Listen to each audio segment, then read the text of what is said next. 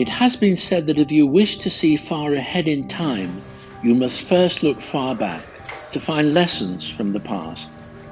The archiving of documents from the past and the present is an important source for architecture and design. It captures the passing of time. It is a testament to the evolution of the discipline. The following masterclasses record the individual processes of professionals and their ways of working.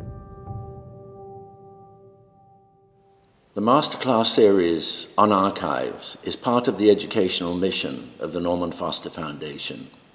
It's presented by experts from collaborating institutions, and they bring together an extraordinary body of expertise and experience. The range of archives is quite wide, from books, art, architecture, design, manuscripts. You could say that the archive is at the heart, it's the core of many institutions and foundations. It's about capturing the past from diverse perspectives. If you want to anticipate a future, then the lessons of history, that as a discipline is central to the art of archiving.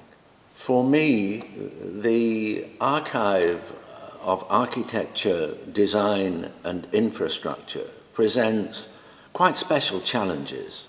For example, it's not just sketchbooks, drawings, documents, papers.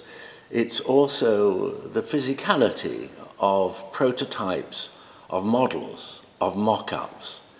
And in its wider context, it's, it's, it's a perspective on an era a point in time, uh, the different perspectives of those who have been uh, collaborating, commissioning, um, the critics of the period, other architects, engineers, different disciplines who together collaborate on those issues which inform the infrastructure, our environment in the widest sense, from the design of a small object, furniture, uh, to the master plan for a city with buildings in between.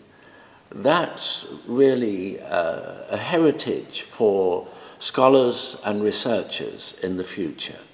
And in that sense, the past informs the future for generations still to come. We tend to think of archives as something that's frozen from the past.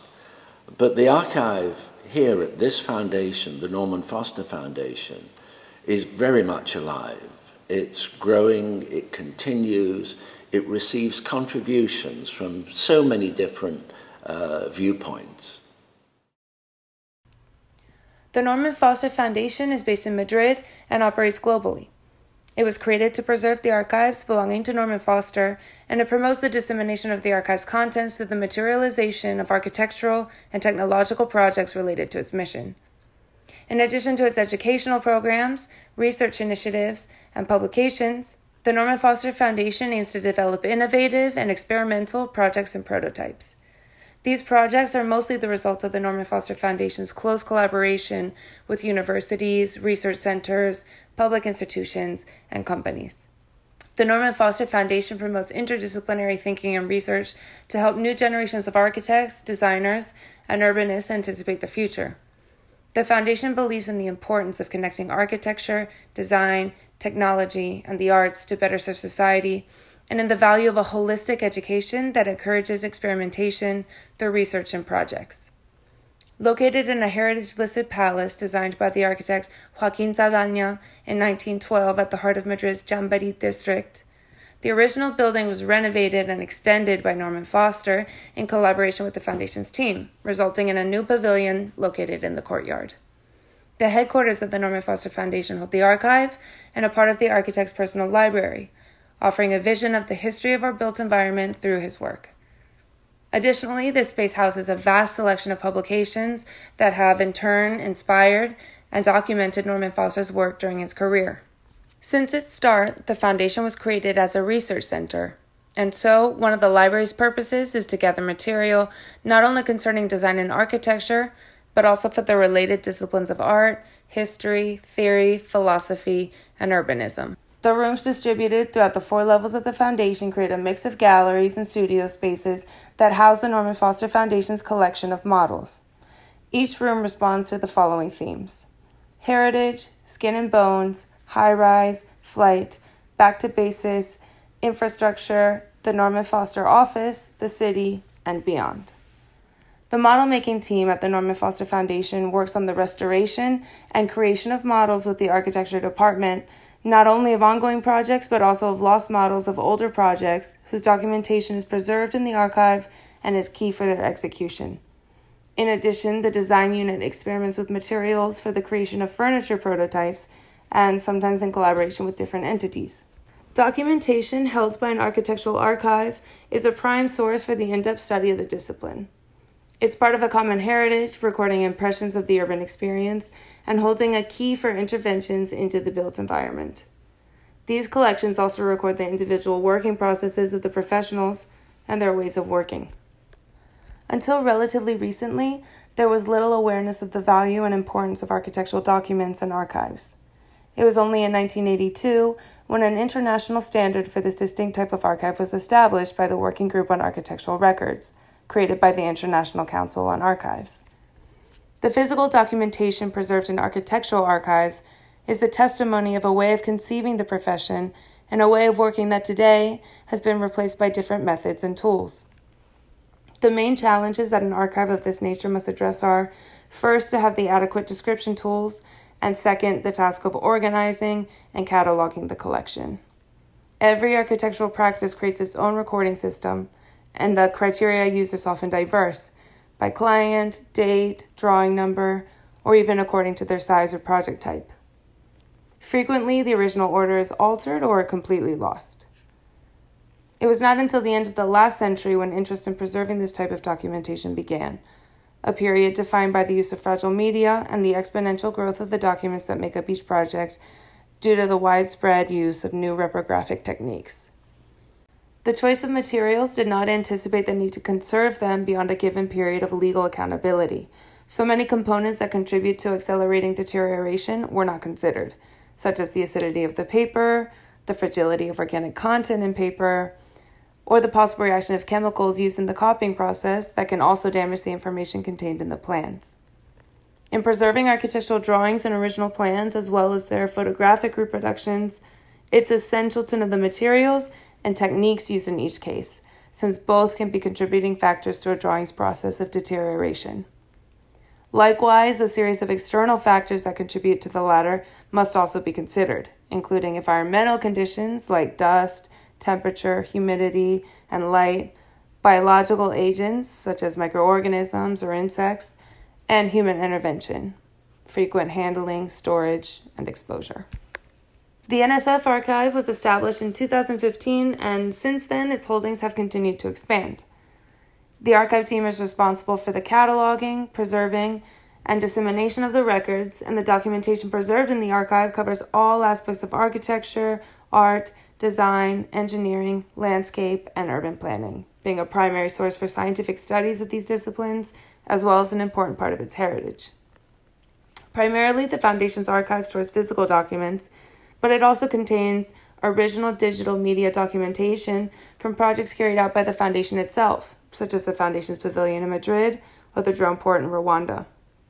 In Norman Foster's working method, Paper continues to hold a preferential place as a support on which he initially expresses his ideas, from quick sketches to finished drawings.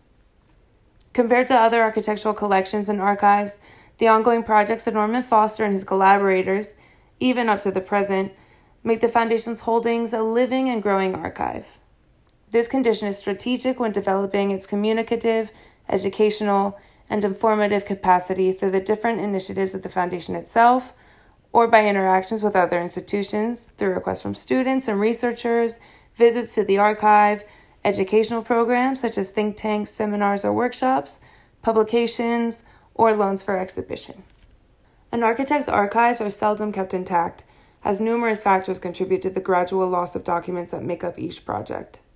However, right from the beginning of his career, Norman Foster took the firm decision to preserve the greatest amount possible all documentation, a choice which has assured the integrity of the collection.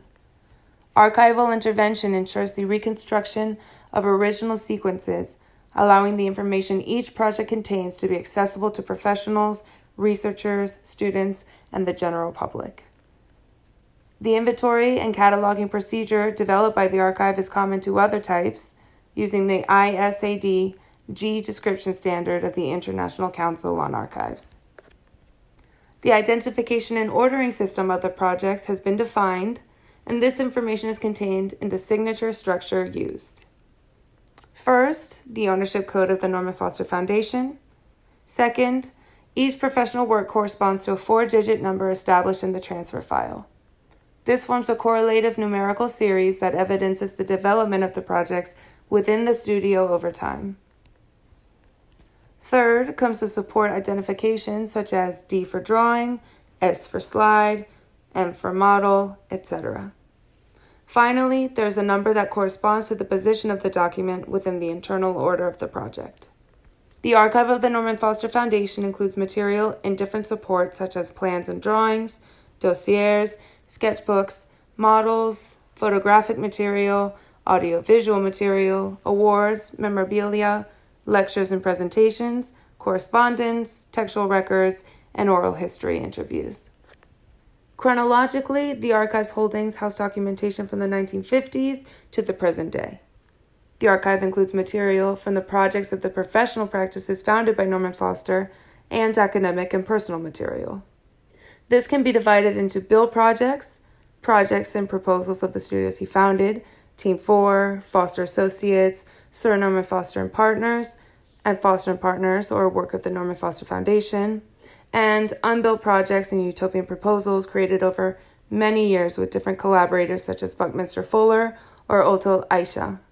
Complementing and supporting the works of Norman Foster and the studios he has founded, the archive also houses important works such as drawings or models of relevant architects like Claude Nicolas Ledoux, Le Corbusier, Mies van der Rohe, Buckminster Fuller, Richard Rogers, or Tadao Ando, among others. On the other hand, is academic and personal material related to his achievements, such as his work as a student at Manchester and Yale universities. All the plans, drawings, and panels are kept grouped by project and format. Larger plans and drawings are stored rolled up in cardboard conservation tube boxes. However, most of the collections are kept horizontally with three levels of documentation protection loop folder, subfolder, and protective sleeve, the latter made of neutral barrier paper or with alkaline reserve, depending on the technique of the plan it contains. DIN A4 size drawings and panels are kept individually protected and in horizontal position in top opening cardboard boxes. Having started the archival treatment of its collection in 2015, the Foundation's database hosts 226 projects that contain more than 120,000 records included into the archival management system.